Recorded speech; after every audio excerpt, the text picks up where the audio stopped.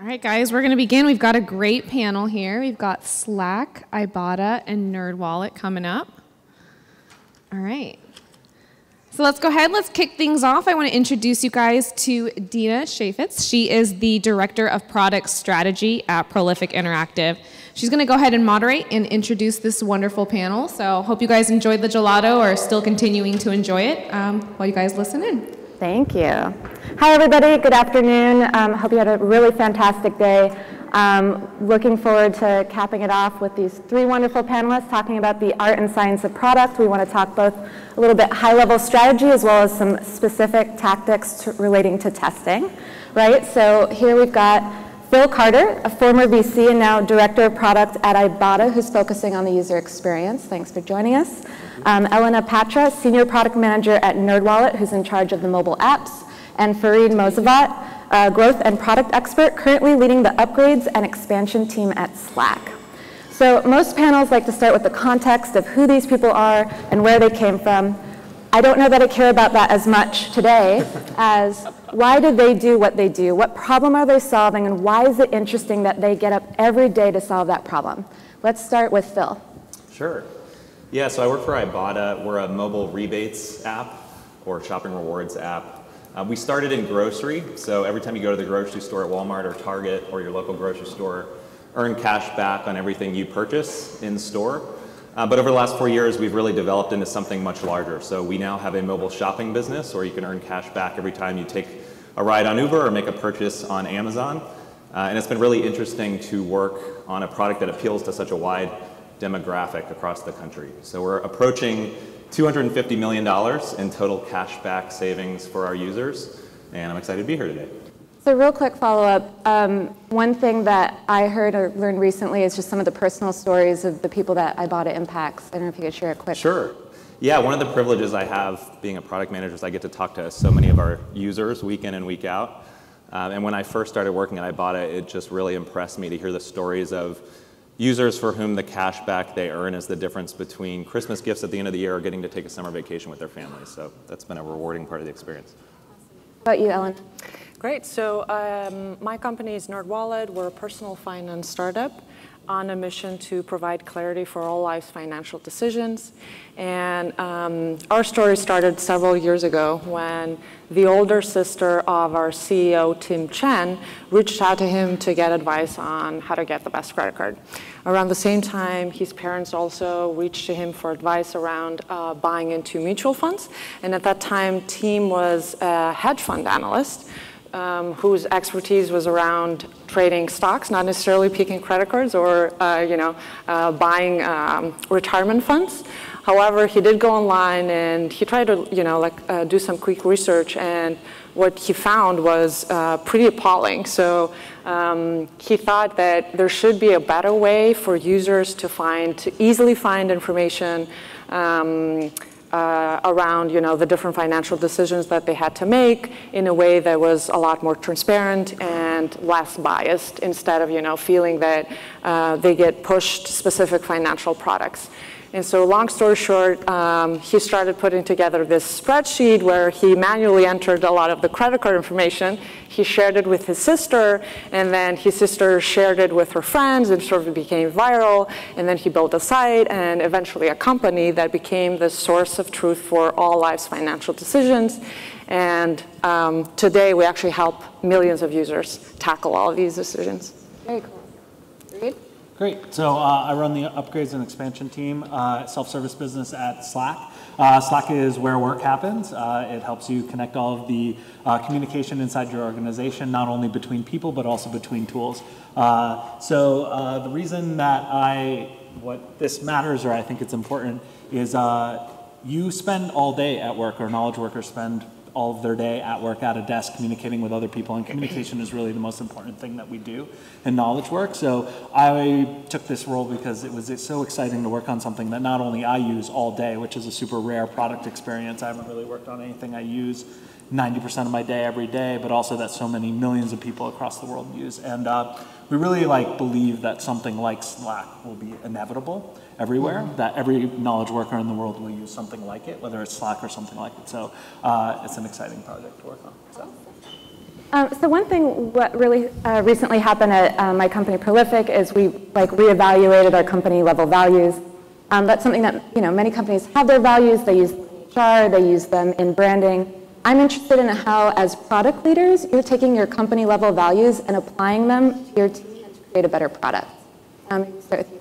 Yeah, so I think that especially running growth-oriented things, uh, values are a really important part of how we do growth. Uh, and the way that I've run a growth team has been different at every single company based on those values. Okay. So I'll use a couple of examples. Like one is at Instacart, one of our core values when I first started there was uh, was called uh, sense of urgency. We now call it every minute counts.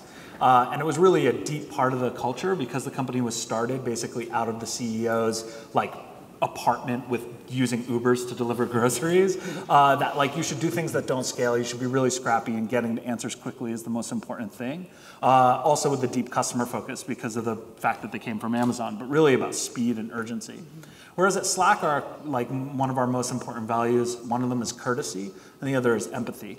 And so we're thinking about our customers all day and we're working on an enterprise product, things that people use at work. We're helping them solve and do their most important task of the day, the thing that they get paid for, the thing that they get fired or not or promoted on. And so the way we, we, don't take as the same approach of just hacking things together and pushing really hard. We don't think in terms of getting users to do things. We think in terms of encouraging them, educating them, uh, in terms of uh, make, helping them make better decisions. And we don't, we don't want to nag or be annoying because we're part of your day-to-day work experience. So these kinds of things are important not only in terms of what kinds of experiments you'll run, but also how you manage and operate your growth team and what kinds of what, what you're optimizing for as a team. As a process. Yeah, I think when we had talked earlier, you mentioned also uh, craft, craftsmanship yeah, so craftsmanship is also one of the core values of Slack and also a really important thing on a growth team. It was actually one of the hardest things for us to get right when we first got started. Because I think a lot of people hear growth, especially new engineers and, and things like that, or people from other companies, and they come at it with this idea that like, okay, we're gonna throw shit at the wall, we're gonna see what works, we'll fix stuff later, uh, we will just try things, and if they work, then we'll make them better. But we don't really have that luxury. One, because everybody on the team is really like, incentivized to build great things, and also it's such an important part of our product value and our brand value to be tight and clean and thoughtful and have courtesy and be fun. And so those edges matter. So the basic decision we always have to make is we don't get to skimp on quality. We make smaller things better. We don't make bigger things scrappier. Um, and so we can still get velocity, but we have to choose different chunks. Um, and then Phil, I know that uh, I learned recently that Ibotta stands for something. Yeah, so each of the letters in Ibotta is one of our company values. And the one that I find the most interesting is the last. A good idea can come from anywhere. It's a little long-winded. Uh, but when you think about innovation... So wait, is it a good idea? Yeah, the A in okay. Ibotta is the a good idea can come from anywhere. Like I said, it's a little long, but easy to remember. Yeah. Um, and the reason I like it so much is when you think about innovation or what, what makes an innovative product, I'm guessing mobile rebates isn't the first industry that pops into a lot of folks' minds. Um, but to our users, it's really important. These folks care about every cent, every dollar they save, and to them, it's actually a game in many cases. They love finding the best deals out there. There's a Facebook group called Ibotta Friends and Bonuses where people compare the most money they save in a given trip, right? And so it's important to be able to channel the best ideas we possibly can from everybody who works at our company and beyond uh, in order to build the most innovative product for our users. And so hopefully our users can really feel that. I'm a Slack user. I'm sure there are plenty of Slack users in the audience. And when I heard about empathy and thoughtfulness, that's something you definitely feel when you're using that product. Yeah. Speaking of, a good idea can come from anywhere. Let's talk about creative testing, creative approaches to testing, okay?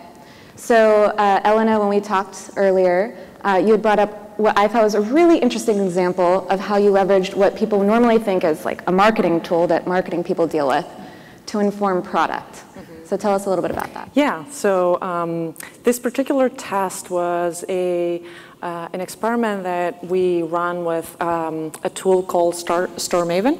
It's basically a tool to run tests on your App Store pages. And it all started with uh, a hypothesis, which is the foundation of a good experimentation.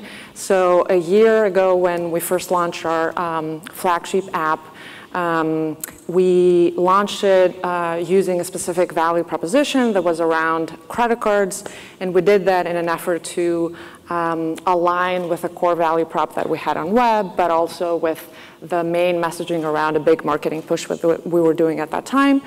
Um, uh, but shortly after launching, we started observing a couple of trends. So one, um, we did not see the install conversion that we thought you know, the app should have. And so we started digging a little bit deeper into that. And we also started seeing negative reviews on uh, the app stores around users that were not really happy with the fact that they had to um, uh, uh, create an account in order to, you know, like find the best credit card. And so we formed a hypothesis around flipping the value prop and instead of focusing on credit cards, um, focusing the value prop of the app around credit score and using credit score um, to um, uh, get a better sense of what kind of credit cards you would qualify for. And so we use StoreMaven, which is basically basically allows you to clone different, you know, uh, uh, app store pages and direct uh, part of your traffic into those uh, clone pages, and run the test for several weeks. Uh, we actually saw a lift in conversion, in install conversion, um, of 20%, which is huge. Um, so uh, what we ended up doing was not only you know updating our app store pages, but also um, expand that to reshuffle our entire onboarding experience, but also inform our product direction, which is basically what we have today. So our value prop today is centered around credit score, and we have also like expanded that yeah, I love that because you're not only um, improving like from an acquisition perspective, but you're also learning things that can help inform the product, the product experience. Totally, yeah. How about you, Fareed? Ever gotten creative? Yeah, so in the testing department. One of the first things when I uh, first got to Instacart was uh, trying to figure out what our growth levers were. We really hadn't thought about it beyond just like driving more signups and, and driving more activations. So like a lot of onboarding stuff. So and so inst- outside of acquisition, we knew like sort of in our hearts that like whether or not you could get like a quick delivery was an important part of our growth equation and whether or not we had you know uh, users came back again. And so this is a pretty hard thing to test because it involves so much operational complexity from like the shoppers on the ground up to the systems that decide which shoppers get what, all the way around. So there's no such thing as like a fair, a safe test that you can do unless we did a sort of weird thing where we wanted to get two groups that were equivalent and we wanted one group to have on-demand delivery, so anything under two hours, and the other to have no on-demand delivery, and a third that was sort of like the normal algorithm. And so basically what we did was we had to break the experience for some people, which was not great.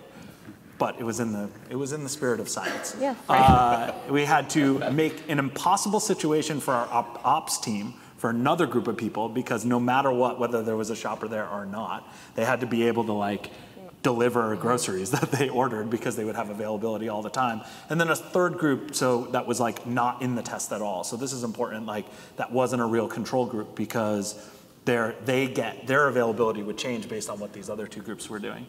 And basically what we found was, it was almost like the back test that the previous person from Wall Street Journal talk, talked about, was we figured out exactly what the impact of having two and one hour delivery on at all times is on our growth rates, on our retention, and on our new user experience. And so we were able to like put that into the, think about it in terms of the modeling of how we were thinking about growth. So while it wasn't a test we would ship, it wasn't something you would either do or not do, it was like a big time piece of information that we could use to inform our operational plans going forward. So that's probably the like most weird, creative, non, yeah. Yeah, non-traditional test I've ever run. out there. Uh, how about you, Phil? You've done anything Yeah, so crazy today, or lean or creative? Oh. uh, today Ibotta is a very test-driven culture. We A/B test most of the major feature updates we make in the app. But in the very early days of Ibotta, we're based in Denver, uh, and the first office was right near um, Coors Field, Rocky Stadium.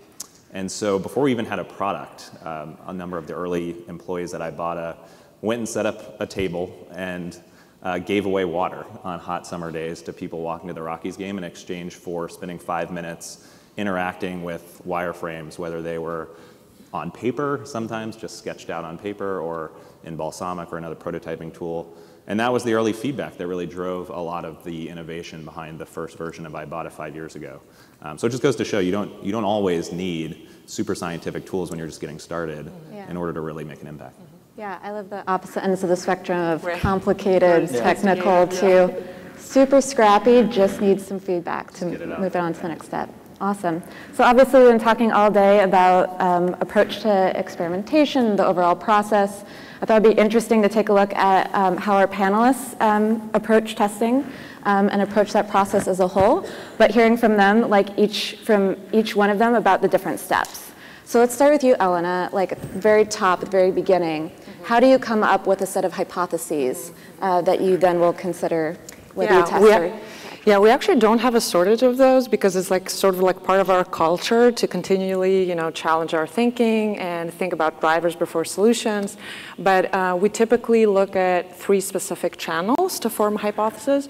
Um, so number one is looking at data, looking at analytics, funnels to identify potential issues, which is the number one thing that you know starts like forming the hypothesis. Um, from that point, we also um, work re- really closely with customer support, which uh, I think you know have been like in all the companies that I've worked at uh, is a perfect you know channel for getting a lot of feedback and a lot of things that you would not necessarily think could be either problems but also opportunities. So it could be you know issues that um, users are uh, coming up with or uh, areas that uh, they might find confusing or complicated. So a lot of opportunities that you might not necessarily like think about it on the top of your head um, we also look at uh, customer reviews, so reviews that we get in uh, the app stores. Um, we try to identify patterns, and again, there are um, tools that are available to do that. Uh, one that we use is called AppBot, so you can track sentiment, but also identify like topics, specific topics that users are either you know really happy about or not happy about. Um, and then the third one is qualitative, um, and it's more about using user research that we do at a regular cadence uh, just to see whether there are any blind spots, but also um, if we identify a particular issue, uh, we bring in users or we run, you know, online um, uh, user testing sessions with them just to get like more dig in a little bit deeper. So I would say, yeah, these are the three main. A source for a really long list of great hypotheses. Yeah. So you've got that long list. Phil, what do you do with that list? Are you going to test everything on that list? No. Hopefully so Hopefully what do you? How are you going to narrow that down? How are you going to like validate it prior Yeah, it's to? a, it's a great question. I think that's the hardest part about being a product leader is figuring out what not to do. Um, so we, I- I'll pick up where Elena left off. So um, we do a lot of user interviews every week. We try to have at least five uh, users in the office. Um, we'll use prototyping software like InVision or Principle in order to uh, put a version of a product feature or a full product experience in front of these users and get their reactions. Sometimes they're more empathy-oriented interviews, so uh, in, in extreme cases, we won't have a prototype at all, but we'll, we'll start very open-ended and just ask a user what matters to them. What are you thinking about when you go to the store? Are you thinking about time? Or are you thinking about money? What's most important to you? All the way to more directed interviews where we'll ask more quantitative questions, like on a scale from zero to 10, how would you rate um, the quality of this user experience or how intuitive this user experience is? And then as we get in more to the refinement phase, or as we're approaching the point where we're ready to prioritize a project, um, build it, and put it out there to A-B test, um, we'll use tools like Usability Hub. Um, there are plenty of others out there, but we'll do things like five-second tests where you put two different versions of a, or five, five-second tests where we put a screen up and then test recall of what a user remembers. Preference tests where we test two different screens against each other and see which treatment wins. Um, or clickability tests where we'll take a user through a flow and see what percentage actually make it through, and also where certain users stumble or fall down so that we can identify pain points to fix in the final product. Ultimately, I think the big takeaway is building product is expensive. It takes time, it takes resources. Um, so you want to make sure that you've honed your hypothesis as much as possible before you actually make that investment. Okay, so let's say you've narrowed it down. You're very clear on what you want to test. Let's talk about running those tests and then what you do after the test, which is probably the most important part. Yeah, sure. So um, I have come to believe that the decision about whether you ship or don't ship an experiment is the most important piece, and actually the work that you do around that decision is even more important. So uh, it's not important whether or not the thing won. That's a pretty straightforward thing. You look at your dashboard, you click on it, it says it's red or green, and you go forward. But the important question is the why, and also the communication of that why, because what you're trying to do is build a real strong loop all the way back through to the organization uh, in terms of like what you've learned and what you haven't learned and building better ideas. I think it's really important to focus on a lot of talk in testing groups is about velocity shipping faster, but I actually think it's really about learning faster and getting to better understanding faster. Because especially at Slack, where we're trying to be very, very careful about the user experience, we, we don't want to ship trash. We're like very, we take a, we take a very uh, close approach to what we decide to put out there. So um, the best thing I've found to do this is actually, I've, I've tried email, I've tried reports, I've tried dashboards, I've tried Slack, I've tried lots of different things, but honestly the best thing that works for this is one meeting, mm-hmm. usually once a month, uh, for our team, but I've done it at Zynga, we did it every week, um, but is called a numbers review, and you sit down and every product manager is responsible for reviewing every experiment that they've shipped and have results on, talk through what they observed, why, and really like it's an it's it's sort of like in its best form, like it's a discussion and it's mm-hmm. almost like you're picking apart the results and you're thinking through why these things have happened.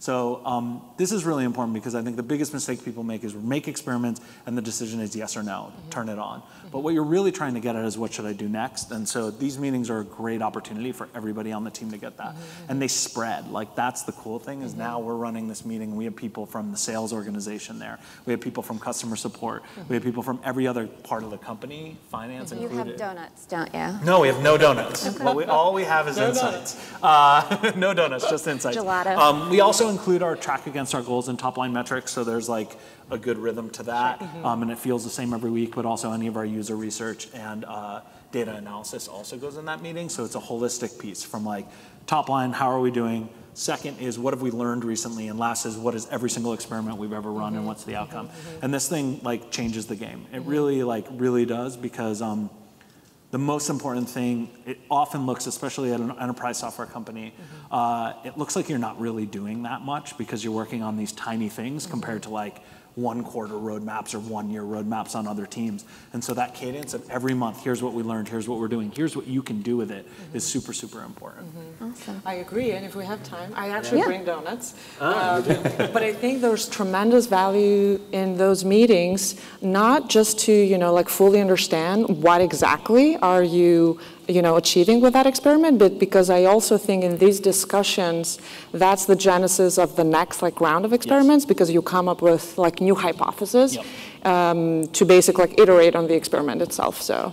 I mean, you think you understand things until you try right. to write them down. Exactly. And then you write down your outcome and you're like, wait, I can't say that yeah. because I don't actually know this other totally, thing. And then yeah. you go dig into data and boom, light bulb mm-hmm. goes off. Mm-hmm. So um, the act of building those slides, of writing those results is so, so mm-hmm. important. Mm-hmm. I think so. An important question follows is then when we're looking at our set of hypotheses, to what extent are you like continuing from previous, like what you learned from a previous yeah. experiment versus generating like new hypotheses based on what you're hearing from reviews or customer feedback or any of that kind of thing?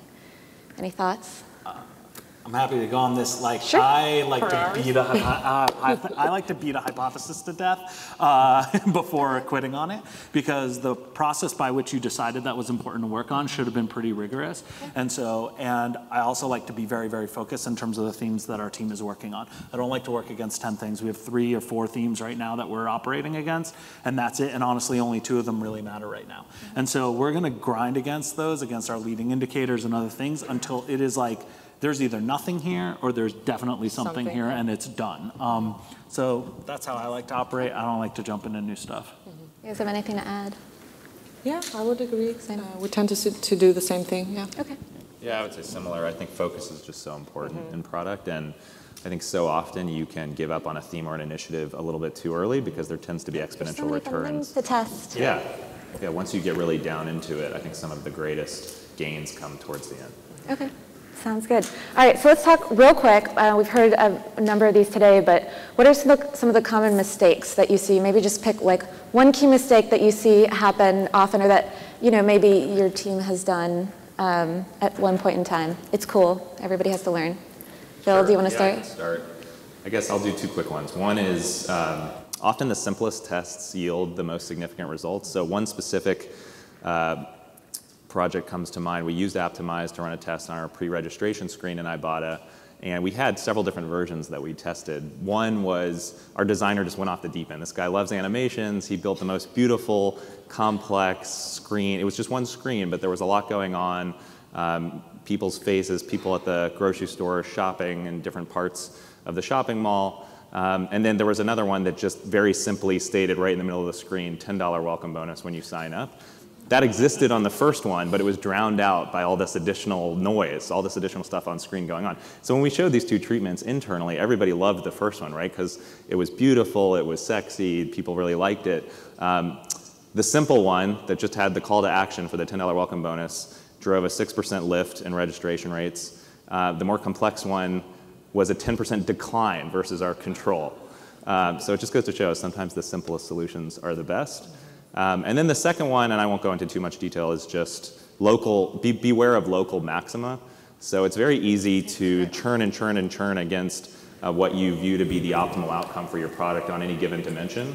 But sometimes you can lose sight of the fact that you may be at the top of the wrong mountain and that there's this much bigger opportunity if you're willing to sort of break the app down to its studs and rebuild it. So uh, six months ago, we totally rebuilt and relaunched the Ibotta app. Totally new design and a lot of new backend infrastructure as well to help with load times and performance. Uh, and it was a six-month project. It took a big investment, but we saw over a 20% lift in most of our metrics. Sometimes you just have to be willing to throw it all out and start over again. Scary, but yeah. Elena, what are um, Cool. So um, I'm going to talk about two common mistakes. One of them we actually are guilty of almost doing and then doing. Um, Thank you for admitting it. Yeah, and that is calling uh, tests too early. Um, so this is very common with either inexperienced or overeager teams that fall in love with their solutions. And we almost did that in the uh, experiment that I was uh, talking about earlier with um, testing the different App Store pages. So uh, we reached statistical significance of 80% at some point, and I was talking with my, my, team, and they really like wanted to stop the experiment, but I was like, no, we're going to let it run for a few more days, and it actually fluctuated for a few days. Um, if you run, you know, a lot of experiments, you know that an 80% can, you know, like easily win depending on, you know, like traffic. Um, so we did not do that mistake for that experiment, um, but we did it for a second test, uh, which was around icon testing. And similarly, the team was like really in love with one of the uh, variants, and they wanted to call that the test. Um, we paused the test, but th we then decided to rerun it, and it came into a wash. Uh, which was equally, you know, like frustrating for uh, an A/B test and uh, actually like pretty common. Um, so yeah, just the, the, the, the, theme there is you need to, you know, let the tests run for um, uh, a full, you know, like amount of time. Usually you need a full week just to, you know, make sure that there are no seasonalities in traffic. Um, you also need to be really vigilant, vigilant about um, calculating the sample size of your traffic. And you need to do that before you start the test so that you, you, you do not get tempted. And I would say in terms of statistical significance, always aim for at least 95%. Um, so that's one. And then the second one, um, it's actually a, a, common theme for uh, teams that have, uh, I think, a culture of testing. And at some point when they get really good at it, they tend to focus a lot on, you know, individual metrics that I call a little bit like vanity metrics. Um, so they can get really, really good at driving one specific, you know, metric, but they kind of like lose the big picture. And so um, they can easily, you know, like run a lot of tests and drive a lot of results around one specific metric. But um, if they look at the overall like, KPIs of their uh, product or business, that may not necessarily like lead to a good experience. So uh, that's also something that, you know, you need to be careful about. Good points. Uh, I, the one I'm most embarrassed about that is uh, and comes into play a lot is not cleaning up experiment code properly. Um, this one has bit me really hard. So we had this experiment at Instacart to drive subscription revenue uh, around our uh, Express product, which is like an all-you-can-eat, as many deliveries as you want, uh, pay up front for the year kind of product. And it's a, it was a huge growth driver for the company, continues to be today. And we ran the best experiment we've ever run on it uh, using the trial. It, it doesn't matter what the experiment was. We were like you know, I pounded my chest in the meeting, was like, this is really great, look at this, we killed it. We like nailed our goal early, we're so awesome, blah, blah, blah. I told the engineer to turn it, to set it to 100%, walked away, didn't pay that close of attention to the top line metrics. So this is to your point, like it, A-B tests don't matter. Like all you're trying to do is move the actual metrics Right. that you're trying to move up. And if they're not moving, you should be concerned. So at first I was a little concerned, it, things looked a little weird. I was like, okay, that's kind of weird, but like maybe there's some seasonal stuff or something else, or there was a novelty effect early This that wasn't faded. right before you went on vacation, right? No, luckily good. I wasn't. uh, and then I like started digging in, and I was like being paranoid. So this is another thing. Growth people like want to win. So when things go badly, it's common to keep it to yourself when really what you should be doing is yelling about the problem. Uh, as soon as I mentioned it to an engineer, I was like, this doesn't look like it's exposing to everybody anymore. He like found a bug in the way he was checking this two-step flow where only people who had been in the experiment in the original assignment were still getting the experiment even though it was ramped up. So we had like over time the number of people seeing it had gone down because everybody was taking the right action. We turned we like turned it back on and then but it was super embarrassing. I had to like stand up in front of the CEO and be like, I'm sorry, I hurt the business for two weeks because I wasn't paying close enough attention. It happens to the best of us, but hopefully everyone in this room will learn from that mistake. Yeah. So, So, check that what you expect to have happen happens after you close an experiment. is the lesson. good point. On that note, we're about out of time. Um, we are not going to be able to do a Q&A, but um, our panelists will be around during happy hours, so I highly encourage you to chat with them because they're fantastic humans and doing great work. So let's give them a round of applause.